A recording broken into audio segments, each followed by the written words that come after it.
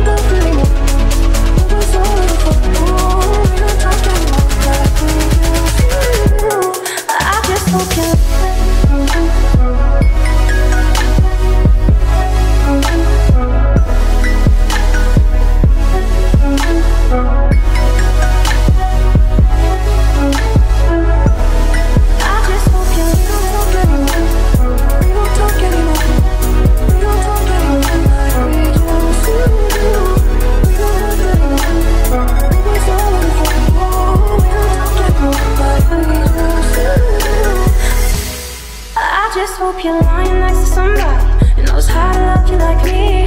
There must be a good reason.